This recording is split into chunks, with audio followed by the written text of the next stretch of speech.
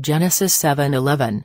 In the six hundredth year of Noah's life, in the second month, the seventeenth day of the month, the same day were all the fountains of the great deep broken up, and the windows of heaven were opened,